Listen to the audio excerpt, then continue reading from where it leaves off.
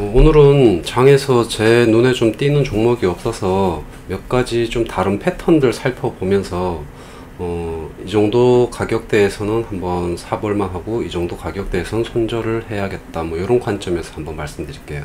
살펴볼 종목은 MPD, WI, 윙이푸드, 다스코, 뉴보텍, 나노스입니다. 먼저 MPD 기업 개요부터 살펴보면요. 2010년에 설립되어서 표면 실장 기술을 활용하여 스마트폰에 사용되는 FPCA를 생산 및 판매하는 사업을 하고 있고 삼성 디스플레이나 화웨이 같은 회사를 고객사로 가지고 있습니다. 시가총액 954억이고요. 일봉 보면은 이제 완만하게 상승하고 있다가 오늘 슈팅 한번 줬어요. 외국이나 기관인의 기관의 매수 매도세 봤을 때 외국인이 조금 매수하고 있고요. 기관은 오늘 조금 소량 팔았네요. 어, 시가총액 대비 시가총액 954억인데 원래 매, 이제 예상 매출은 2,500억에 한 80억 정도.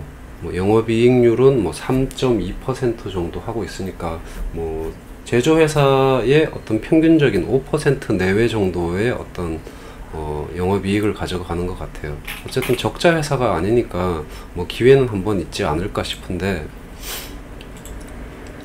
MPD 차트를 한번 보면은요 크게 한번 이제 보려고 해도 여기가 이제 지금 볼 수 있는 끝이네요. 일봉상에서 봤을 때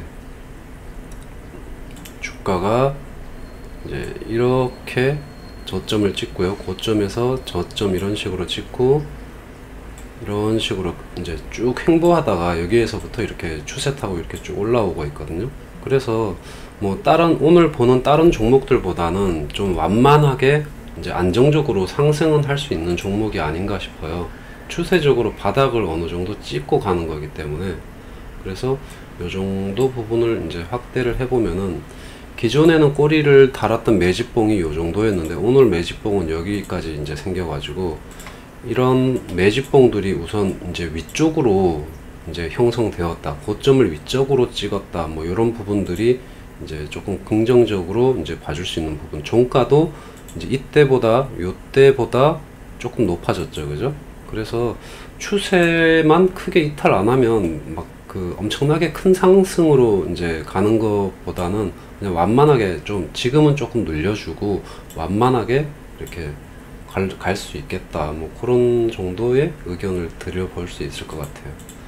그래서 뭐 이런 종목들 뭐 매수 관점이라고 하면 절반 정도 봉, 봉의 절반 정도인 한 4,360원대 4,360원대 정도면은 한번 매수할 만하고요. 그리고 오늘 봉은 기준봉으로 삼을만 하기 때문에 종가상으로 요 라인 4,230원 정도 될 것 같은데요. 예. 4,300, 4,290원 라인 정도 저가 라인이 4,290원이니까 4,290원을 종가로 깨지만 않으면 이제 뭐 손절 없이 가져가 볼만 하겠고 저 개인적인 생각으로는 이 종목 이렇게까지 한 4,230원대나 20원대까지 누르더라도 한번 보유는 해볼 수 있는 종목이 아닌가 싶습니다. 어, 그 다음은 WI WI도 회사 개요를 살펴보면요.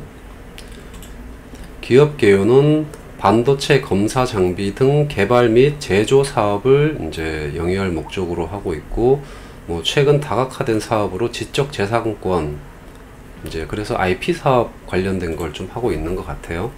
일봉상에서 봤을 때 어, 1280원 저점 찍고 어, 최근에 상당히 많이 올랐어요. 그죠? 그리고 시가총액은 1485억 원인데 제조 사업만 하고 있지 않기 때문에 뭐 다른 사업들도 좀 하고 있기 때문에 어, 매출액 대비 시가총액이 좀 높은 것 같아요. 뭐 실질적으로 돈 버는 건 없는데 앞으로 좀 벌 것이다. 그래서 뭐로 벌 것인지 살펴봤더니 뭐 크래프톤 관련된 이제 그 브랜드 licensing 사업들도 하고 있고요.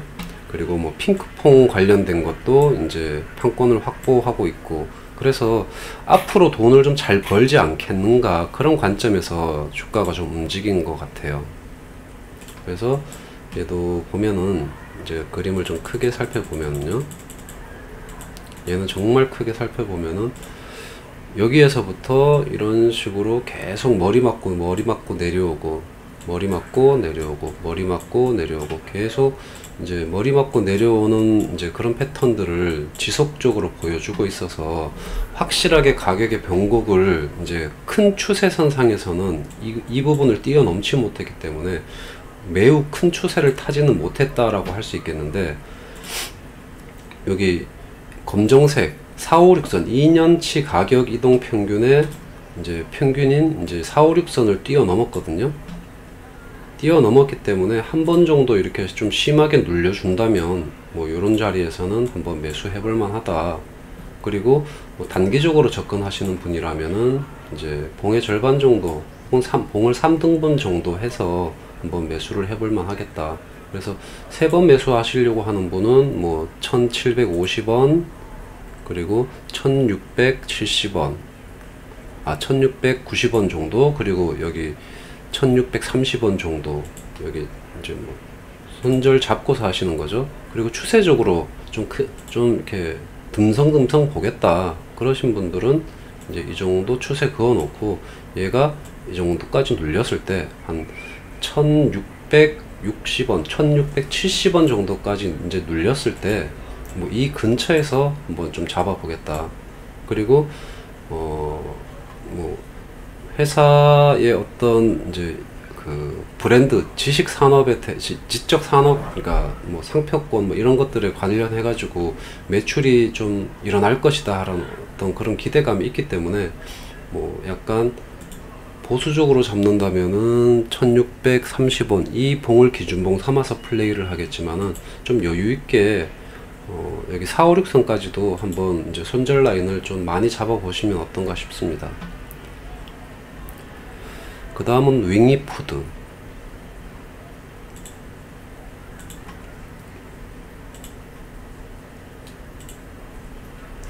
윙이푸드 기업 개요 보면은요 어, 2015년에 해외 상장을 목적으로 홍콩에 설립된 지주 회사라고 합니다. 그래서 뭐 100여 년의 전통을 이어온 기업으로 중국식 전통 소세지, 간편식 간편 소세지, 나뷰 등을 이제 생산하는 이제 그런 회사라고 합니다. 그래서 뭐, 뭐, 차이나 리스크 좀 가지고 있다라고 봐줘야겠죠. 일봉상으로 봤을 때 저점 1300원대 찍고 이렇게 올라가고 다시 최근에 횡보하다가 오늘 긴 꼬리 달고 매집봉을 이제 또 만들어 주고 있고요. 시가총액 763억 원인데 매출은 이제 매출이나 영업이익은 시가총액에 대비해 가지고는 아주 좋은 거죠. 그래서 차이나 리스크만 아니었다면 이 종목은 훨씬 더 많이 갈 수 있는 종목이었지 않을까 그렇게 생각이 되고요. 외국인은 이 종목을 하나도 보유하고 있지 않고 이제 기관은 최근에 매수세가 좀 있는 것 같습니다. 그래서 차트로 한번 분석을 해보면은요.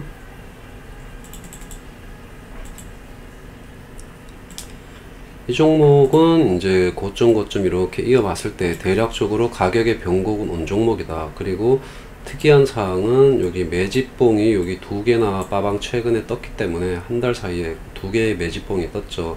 그렇기 때문에 어, 탄력 한번 받으면 제대로 갈 수 있는 종목이 아닌가 그렇게 생각이 됩니다. 다만 이제 시간이 얼마나 걸릴지 그거를 알 수는 없는데요. 이제 이 4, 5, 6선 밑에서 이런 식으로 놀다가 이제 아마 패턴이 4, 5, 6선 위에서 이렇게 놀게 되는 행보하는 구간들이 나온다고 하면 이렇게 눌려줬을 때 눌려줬을 때 가격대는 똑같아요. 가격대는 똑같이 4, 5, 6선인 뭐 한 1590원이나 1600원 선 정도. 예, 요 정도가 될, 지금 현재 가격 정도가 될 것 같은데 매수 가격대는요. 하지만은 이 밑에서 가격이 이 밑에서 이런 식으로 노, 논다고 하면 시간이 좀 더 걸린다고 봐야겠고요 여기를 이제 뛰어넘어서 이런 식으로 눌린다고 했을 때 횡보하 똑같은 횡보를 하더라도 이 부분에서 눌린다고 하더라도 4, 5, 6선 위에서 이렇게 횡보를 하거나 눌렸을 때는 이제 위로 튈 확률이 어, 상당히 높다라고 본다면은 밑에서 이렇게 높이 이렇게 눌린다고 하면은 이제 조금 더 시간이 위에서 눌린 것보다는 조금 더 길지 않을까 그런 관점으로 한번 접근해 보시면 될 것 같아요. 그 다음은 다스코. 다스코는 오늘 제가 장중에 봤는데 상한가까지 때렸더라고요. 그리고 꼬리 엄청나게 길게 달고 왔는데요. 눈에 띄어서 한번 보려고 합니다. 저는 이런 종목을 이제 뭐 매수를 하거나 그러진 않는데 추격해서 매수하진 않는데 이 부분에 갭이 떠 가지고 보통 어, 어떤 종목들은 요 갭 자리에 딱 가운데 정도에서 가격을 좀 형성을 하더라고요. 뭐 하는 회사인지 한번 살펴보면은요. 도로 안전시설 전문, 전문 기업이라고 하네요. 그래서 뭐 토목이나 설비 뭐 이런 거 관련된 회사라고 볼 수 있겠고 시가총액 1100억 원. 뭐, 뭐 태양광 도로 안전 시설 이런 거 가지고 있고 뭐 고객사들은 이제 하나 시스템 뭐 방음 터널 이런 것들도 하고 있네요. 외국인이나 기관의 어떤 매수 매도세를 봤을 때 뭐 크게 변동 없고 외국인은 별로 변동 없고 기관은 뭐 소량 팔았다가 샀다가 뭐 이러는 이제 뭐 둘 다 이 종목에 크게 관심은 안 가졌던 것 같아요. 최근에 이제 작년에 이제 매출이 2245억이었는데 매출은 거의 비슷비슷했는데 작년에는 이제 영업 적자가 났네요. 그리고 1분기에도 적자가 났고요. 그런데 차트는 먼저 움직였는데 무엇 때문인지는 알 수 없지만 차트는 움직였습니다. 그래서 그림을 좀 크게 보면은요. 자, 지속적으로 쭉 오르다가 이 구간에서 빠졌죠 그죠 이 구간에서 빠졌는데 이런 식으로 머리 맞고 내려오다가 이 부분에서 이제 가격의 변곡이 좀 왔다라고 보여지고요 이 가격 등락폭이 좀 상당히 커 가지고 어, 이런 위에 자리에서는 좀 잡기가 애매한 종목인데요 제 생각에는 이제 지금 현재 상황이라고 하면은 매집봉이 두 번 좀 크게 빠방 이런 이런 데서 매집봉들이 좀 세워졌었기 때문에 어, 좀 눌린다면 이제 살만하다. 그런데 추격해서 매수하기에는 현재는 뭐 영업 실적이 확 개선됐다든지 뭐 전망이 좋은 장밋빛 전망이 있다든지 그런 게 아니기 때문에 제가 주목하는 부분은 이 부분입니다. 그 갭이 뜬 부분 갭이 뜬 부분을 보통 이제 갭을 갭 자리를 메우 주가가 갭 자리를 메우려는 특성이 있는데 오늘 좀 세게 갔잖아요. 뭐 상한가까지 갔다가 꼬리를 많이 달기는 했지만은 상한가까지 갔던 종목이라서 힘이 있는 종목이라고 봤을 때, 음, 뭐 여기 천, 그러니까 6,124원 자리, 이제 시가 정도 자리를 이제 다시 되돌림으로 이렇게 하락으로 하루 만에 내릴지 뭐 며칠 걸쳐서 이렇게 내릴지는 모르지만은 시가 정도 자리까지 내릴지 아니면은 여기 제가 보는 거는 요 정도거든요. 한 6천원 선 정도. 그래서 요 갭 자리의 절반 정도. 갭 자리의 절반 정도까지 한번 눌림을 준다면 한번 접근해 볼 수 있다. 근데 힘이 좋아서 뭐 바로 이렇게 갈 수도 있는 거거든요. 뭐 이렇게 눌리지도 않고 그냥 바로 갈 수도 있는 거고요.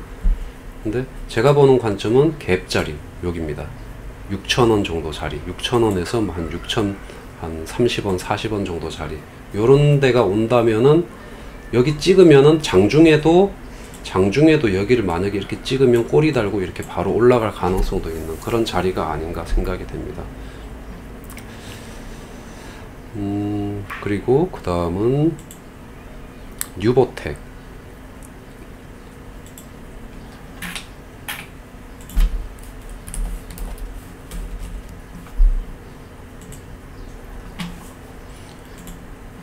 유보텍은 뭐 상하수도관, 빗물 저장 시설 등을 주요 제품으로 하고 있고요. 563억 시가총액이 되고 있고 일봉상에서 저점 찍고서 이렇게 슈팅을 한번 준 상황입니다.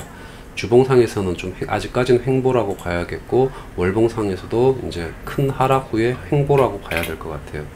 기관이나 외국의 어떤 매수 매도세를 봤을 때 어, 외국인이 소량 매집했고 기관은 이제 뭐 아직까지는 크게 관심이 없는 이제 그런 상황이라고 봐줘야 될 것 같아요. 이 종목은 이제 보면은 최근에 1월 달에 회계 기준 위반으로 이제 뭐 과징금 받고 제재를 받았던 그래서 재무 회계가 좀 불투명하고 뭐 대표가 횡령도 하고 뭐 이런 것들이라서 음 주가의 어떤 이제 흐름만 한번 봐줬으면 좋겠어요. 그냥 이런 종목은 어그 이렇게 회사에 문제가 있을 때 주가가 아, 이렇게도 움직이는구나. 그냥 딱 그 정도로만 보시고 학습용 학습용으로만 보시면 좋을 것 같아요. 그래서 매수하는 거를 그러니까 차트는 나름대로 괜찮거든요. 제가 봤을 때. 차트는 괜찮은데 뭐 예전에 이제 저는 뭐 세종텔레콤 이런 것들은 뭐 아무리 올라가도 다시 내려오는 이제 그런 종목이기 때문에 안 산다. 뭐 이런 관점으로 한번 이제 봐주시면 좋을 것 같아요. 차트는 저점 찍고 이제 추세를 이제 여기 저점 찍고서 거의 3바닥 찍었거든요. 원바닥, 투바닥, 3바닥까지. 그런데 저점 찍고서 이렇게 추세가 상방으로 이렇게 가고 있어요. 되게 나름 교과서적으로 가고 있다고 생각이 되거든요. 여기서부터 이렇게 여기 저점 저점을 나름 교과서적으로 확인을 시켜주고 있어요. 그런데 이제 어제 오늘 이제 장대 양봉 어제 같은 경우에 어, 아, 그렇게 장대는 아니군요. 뭐, 2.89%, 오늘은 5.31%. 어쨌든, 어, 이틀간에 거의 8% 넘게 이제 올라준 부분이 있어서, 뭐, 얘가 막 굉장히 급하게 가야 될 이유는 없는데 볼린저 밴드 상단에서 이렇게 놀고 있어서 이제 좀 심하게 눌리는 기회가 혹시라도 온다면 이제 뭐 이런 데서는 한번 잡아볼 수 있지 않는가. 그런데 위에서 이렇게 잡겠다 하는 생각은 없습니다. 저, 저라면. 그냥 위에서 이렇게 가면 이건 나하고 상관없는 종목이다. 그렇게 봐줍니다. 여기서 만약에 잡는다고 하면 매수가가 손절가가 되겠죠. 내가 장중에 매수했는데 종가가 이렇게 떨어진다고 하면은 종가상에서 그냥 바로 컷해야 되는 이제 그런 종목이라고 생각을 해요. 그 다음 나노스 나노스는 제가 2월달인가 한번 말씀드려서 시세가 크게 한번 분출을 했던 종목입니다. 일단 기업 개요 살펴보면은요. 삼성전기 VCR 헤드 부분을 분사해 종업원 지주회사로 설립된 이제 회사고 어, 휴대폰 카메라 모듈 핵심 부품인 광합 필터, 홀 센서 제조 및 판매를 하고 있습니다. 시가총액이 9,750억이에요. 엄청 높아요. 그러면은 뭐 제조회사니까 매출도 한 1조 나와야 될 것 같은데 그렇지가 않습니다. 570억 밖에 안 됩니다. 그리고 뭐 흑자냐 그것도 아니에요. 그런데 뭐 최근에 이제 쌍방울하고 뭔가 엮이면서 이제 올라간 것 같아요. 그래서 그 저는 뭐 이런 문제가 생기기 전에 이제 그 쌍방울이나 광림 같은 경우에는 이제 어떤 분이 물어주시는 분이 있어서 이제 말씀을 드렸었고 쌍방울도 똑같이 차트에 걸리더라고요. 쌍방울이 한번 갔다가 왔어요. 여기 5월 20일 날 제가 쌍방울 한번 이제 언급했었던 적이 있고요. 가기 전이에요. 그리고 나노스 같은 경우에는 어 3월 3일 날 이제 뭐 프리뷰 종목을 다시 리뷰했다 이제 요런, 것들 있었고 처음에 발견된 게 2월 1일이에요. 그러니까 나노스 같은 경우에도 이제 제가 처음에 발견 이 종목을 발견했을 때는 상당히 이제 차트가 움직임이 좋았던 이제 이, 이제 좋으려고 하, 는 이제 그런 시점이라고 생각돼서 이때 이제 언급을 해 드렸었어요. 그리고 뭐 이때니까 거의 뭐 한 4천 원 정도에서 3배가 올랐죠. 근데 3배가 오르고 나서 이렇게 폭락을 했거든요. 보면은 이제 어떤 쌍방울 나노스 대, 양길선 나노스 대표 뭐 쌍방울 그룹 추대 뭐 이런 뉴스 쌍방울하고 하여튼 뭔가 엮이면서 주가가 출렁하고 있는 이제 그런 상황이라고 생각이 돼서요. 지금 이 종목의 이제 특이적인 패턴을 보면은 이제 이 부분에서 역대급의 거래량이 빠방 터졌는데 요 부분만 이렇게 살펴보면은요. 이 역대급의 거래가 터졌을 때 이게 엄청난 이제 하한가 하한가 같은데요 하한가 이제 음봉을 맞았고 그 이후에도 정신 못 차리고 이제 좀더 떨어지다가 행보하고 이제 이런 모습인데 제가 보는 관점은 아직도 추가적으로 더 하락할 수 있다 그래서 만약에 내가 이런 종목을 가지고 접근한다 그러면 저는 여기 456선 5,500원이나 600원 정도 자리까지 만약에 온다면 이게 지금 요 부분 확대해 보면은 이제 결국은 이제 머리 맞고 내려오는 형국이거든요. 여기서 저점 찍고 머리 맞고 내려와야 되는 형국이라고 보기 때문에 내려오고 또 머리 맞고 내려오고 이런 거 조금 반복하다가 쐐기형 쐐기형이 완성되는 순간에 밑으로 갈지 위로 갈지 이제 결정하는 이제 그런 순간이 오지 않을까. 그래서 이 두터운 시간의 가격대와 이제 그 가격의 가격 그러니까 그 매물대 시간의 매물대와 가격의 매물대를 이제 뚫으려면 시간이 조금 걸리긴 할 것 같은데 요런 자리까지 떨어진다면 4, 5, 6선짜리 뭐 한 여기가 한 5,500원이나 5,600원 정도까지 떨어진다면 단기적으로 여기 6,600원 정도까지 그러니까 5,500에서는 6,600원이면은 뭐 한 20% 올라 20%의 변동폭이 생기는 거죠. 그죠? 거의 대부 거의 어느 정- 그러니까 대충 그러니까 뭐 이런 자리 오면 한번 이제 사볼만 하다. 뭐 그런 관점에서 낙폭 과대 종목이라고 생각돼서 이제 한번 학습용으로 한번 살펴보시라는 말씀 드려보고 싶습니다. 그래서 아직까지 좀 더 떨어질 거다. 이런 게 제 관점입니다. 오늘은 좀 길었습니다. 감사합니다.